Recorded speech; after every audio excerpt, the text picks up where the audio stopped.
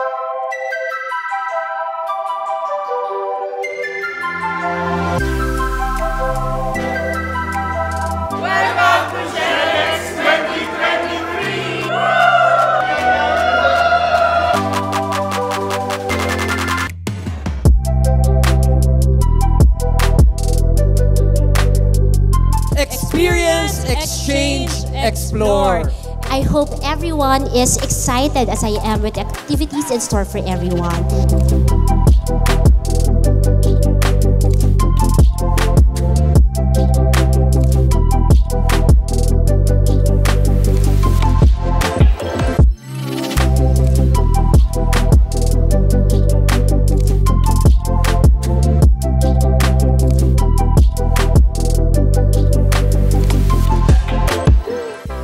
Pumunta ako ng ChedX, of course, to uh, learn new things and uh, connect with other peoples with the same interests as mine. since we are uh, evolving nowadays.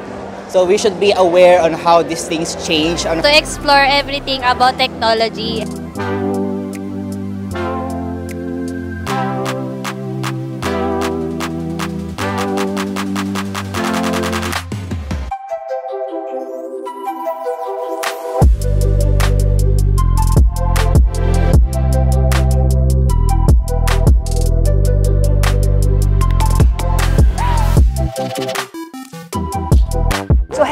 Right talent with the right mindset, the right ethics, that is what we can help provide, uh, not only for the Philippines, but also for the global world.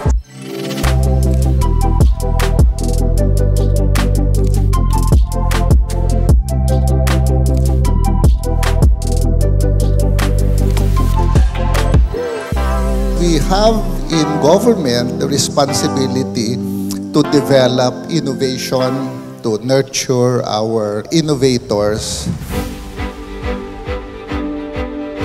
And I attended TEDx to witness this spectacular event, jam-packed with different IT experts with awesome talks.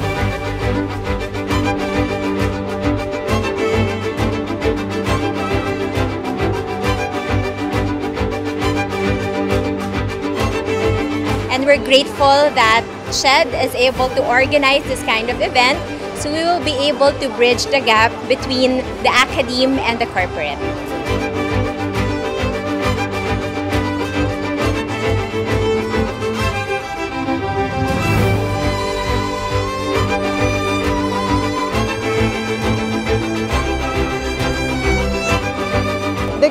About this SHEDEX Summit is that our students have a first-hand experience of learning from the experts.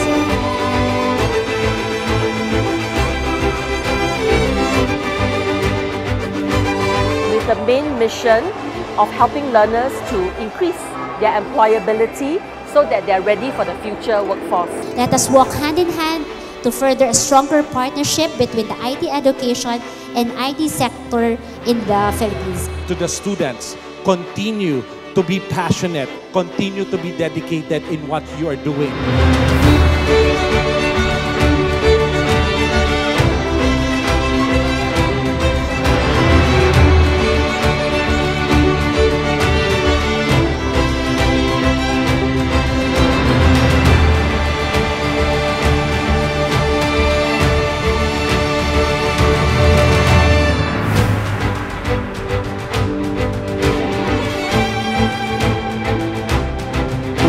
Doing this because we know that uh, the workplace has changed very dramatically over the past years.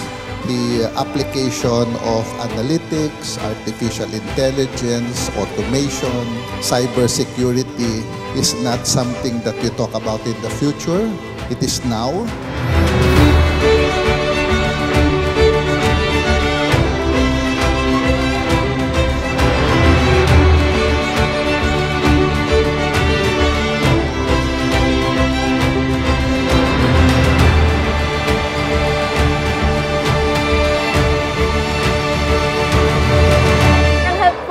Sa akin para po sa pagde-decide para po sa aking career in the future. Madadala namin yun hanggat sa pag, pagtanda namin, pag-graduate, and in the professional scene. I'm so very grateful po na andito po ako.